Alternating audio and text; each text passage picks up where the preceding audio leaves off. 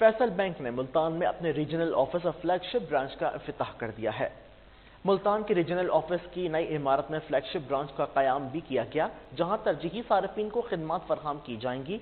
यूसुफ हुसैन ने कहा कि पाकिस्तान में इस्लामिक बैंकिंग के ज़रिए तरक्की की राह पर गामजन किया जा सकता है।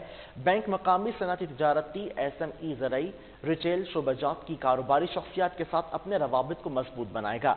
आइंदा दो साल में ब्रांचों की तादाद एक हज़ार तक पहुँच जाएगी, जबकि मुल्क के बड़े शहरों के साथ साथ ऐसे देही इलाके, जहाँ बैंकारी की सहूलियात कम दस्तियाब हैं, वहाँ इस्लामी मालियात और बैंकारी की तोसी हमारा अज़म है। फैसल बैंक के सदर और चीफ एग्जीक्यूटिव यूसुफ हुसैन ने जनूबी पंजाब से ताल्लुक रखने वाली अहम कारोबारी शख्सियात और रहनुमाओं के एजाज में इस्तकबालिया भी दिया।